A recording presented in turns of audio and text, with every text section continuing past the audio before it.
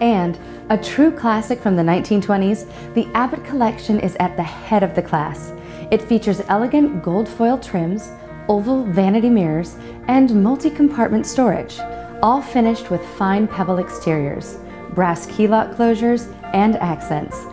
It also comes with our exclusive LusterLoc anti-tarnish treated interiors. Each piece from this collection are not only beautiful carriers for your favorite jewelry pieces, but also an elegant addition to your home.